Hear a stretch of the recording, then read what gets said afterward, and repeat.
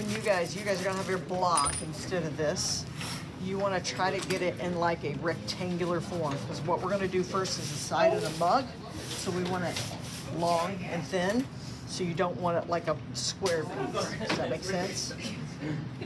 So try to cut it and maybe manipulate it a little bit. Maddie wants to go to jail. I like to kind of slam it down a little bit. And you'll want at least orange or green. I feel like cats would be like stealing too many cats. And then make sure you have a large enough rolling pin that it hits. We'll decide the width later here. automatically assume it's just for I like the way it gets a nice even. like, what did you do?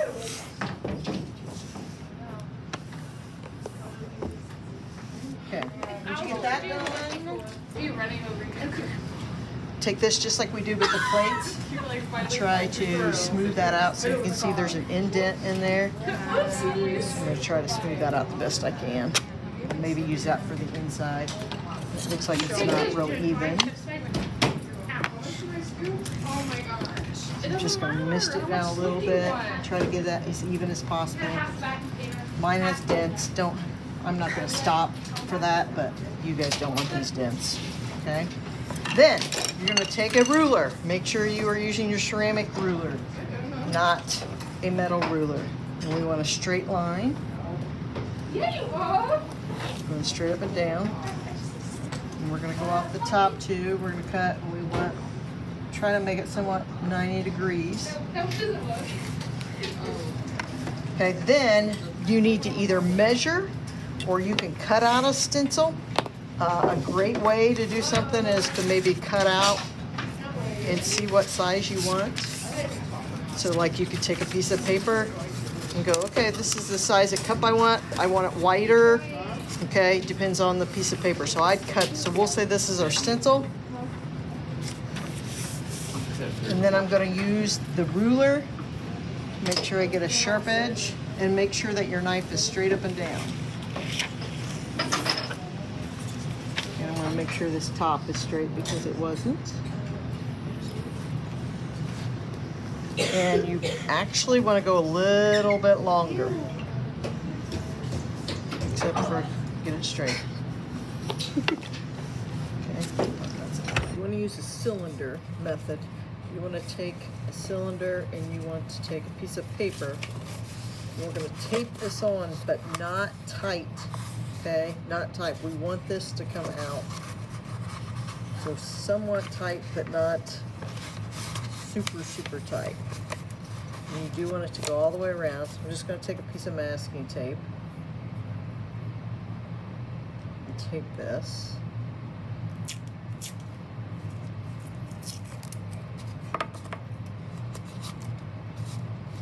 And then you can use this kind of wrap it around, hopefully, which I did not, I did not do it long enough.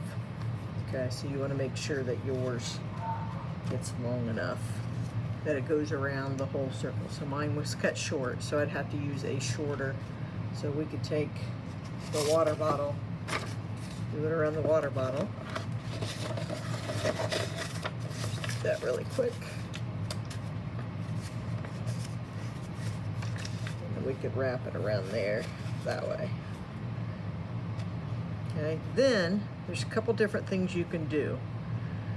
You can take this and keep it the way it is, and you want to cut it at an angle. Okay, so we want a beveled edge. So see that mark right there? See how it's cut at an angle? So I'm not cutting straight, cutting at an angle, and I've got it overlapped. So notice where I have it overlapped. Okay, we're gonna cut this at an angle. We're gonna try to keep it at that angle going all the way through. All right, so this is sliced this way and this is sliced this way. And then we can kind of put those two together. We may have to go a little bit more, so I'm gonna go a little, of a little bit more. Be very careful when you do this. All right, and we can just kind of pull that together, but we still have to score and slip. So we're gonna score, you can use whatever to score. I'm gonna score this angled.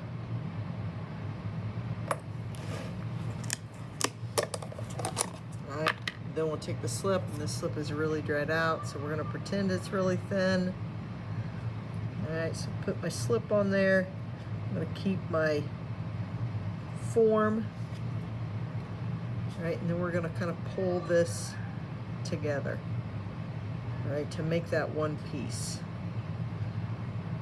All right, at this point, you'll want to try to smooth this out the best you can. So there's a couple different ways you can do that.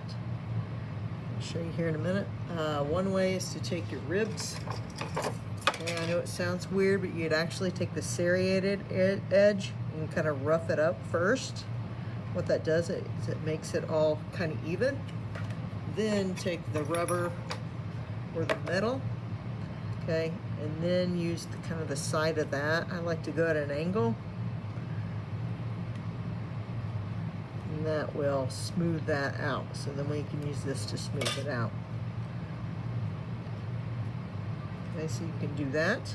Then you want to make the bottom of your area. And then notice this slips right out, but it keeps the form.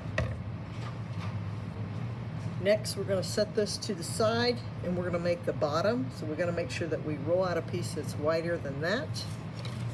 So again, we're gonna use our dowel rods. Pull this out, make sure it's wide enough. So I'm gonna turn it both ways. And I wanna make sure that it covers, which it does.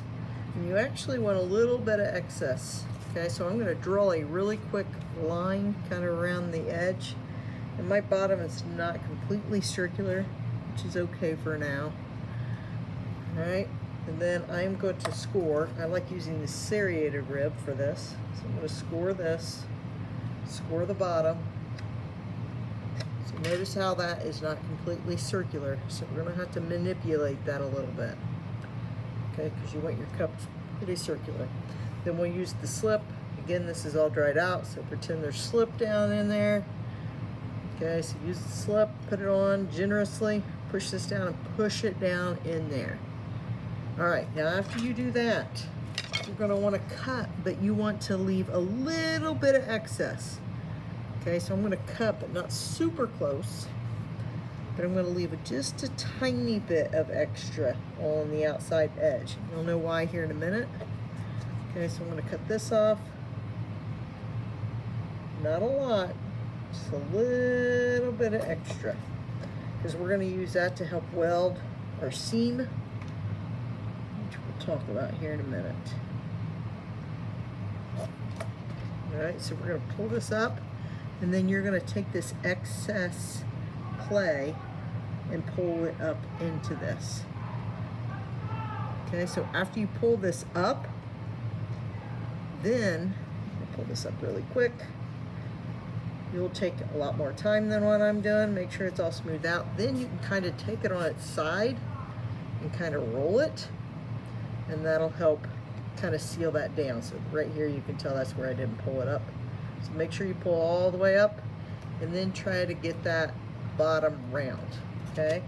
Then you're gonna wanna take this paper out. So if need be, you may have to tighten it a little bit to pull it out.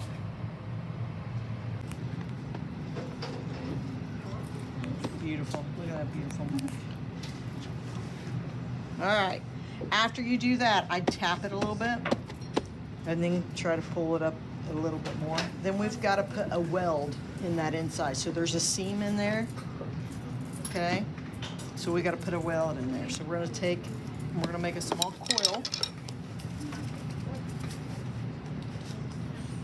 And you probably are gonna have to use a tool for this because your hands may not fit down in there.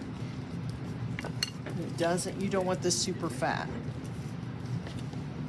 We're gonna put this in there. And then I would use like this this, something that's kind of rounded. And then I'm just gonna smash that into I need to get something different. I like this one better. I'm gonna smash it into that seam and try to smooth that out the best I can. Know you guys can't see that, but you want that all in that seam, okay? So whatever tool you use, I'll try to make some, sometimes even just the end of these work really well because you can kind of push it in there. Okay, you may be able, if you can fit your hands down in there, so if you make a wider cup, and I don't care how wide it is, just don't go really dinky, all right? At least probably about this size. And I don't care how tall, again, just not super dinky. So clean that up the best you can. If you remember from the tips, you wanna make sure that your edges are not super, super sharp here. Kind of go around there and then clean that up the best you can. To the side, all right, let it dry out a little bit. Are you starting it back up again? You get ready to sneeze? Okay, I'm gonna show you my way for doing a handle. You can do it a couple different ways. Easiest way is to do kind of like we did with the thin part. Push this down. Get a thin piece of clay. You can use either one of your little rollers here. Probably want to go a little bit longer than that, but make sure all your excess clay is off. Is it just the one thing? Then I would use probably the width ruler. Remember you want your handle to be comfortable to fit. So we're, I'm going to actually not. And I've got Sponge. Kind of rub and round these edges a little bit. And then if you want one that, you know how the handles kind of look like they've got an indent in it. Take your thumb, your finger, kind of push that down. This is kind of wide. Then you can also kind of, I don't think this is long enough either. I'd probably do this a little skinnier than what it is.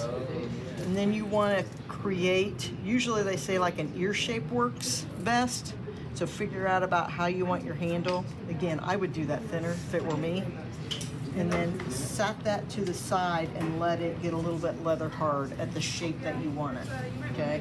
Then you can go back and work on this. This is when you start incising, surface decorations, know, whatever surface decorations you want. Make sense? Don't forget to put your name, inscribe your name on the bottom, uh, or initials on there, and then work one cup at a time. So don't do this one and then go work on another one, and then do your surface decorations unless you're letting things dry out. I'd work on one first.